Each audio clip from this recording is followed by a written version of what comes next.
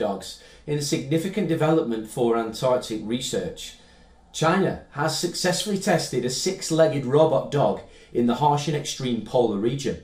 This marks a major step towards utilising advanced technology to explore and understand the unique and challenging environment of the Antarctic. The test was conducted in near Zhongshan Station in Antarctica. Unlike regular dogs, which can slip on ice, scientists have created a special custom made shoe for the robot dog. The special shoes allow the robot dog to handle temperatures as low as minus 40 degrees Celsius and walk smoothly on ice without slipping. The material of these shoes can withstand temperatures as low as minus 40 degrees Celsius.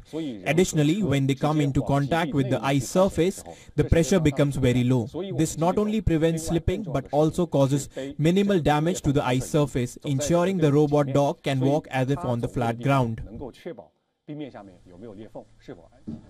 The robot dog is equipped with a battery system that allows it to operate for up to two hours in temperatures ranging from minus 30 degrees Celsius to minus 40 degrees Celsius. Moreover, adding two additional batteries to the robot dog can allow it to work for four to six hours in one go. The research team believes the robot dog can evolve into a versatile tool for Antarctic exploration.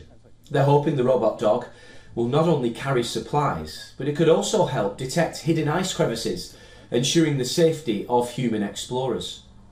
The data gathered from these tests will guide future improvements, allowing the robot dog to perform even more complex tasks, like collecting underwater samples. This new technology has the potential to revolutionise how we explore Antarctica, making scientific research more efficient and safer.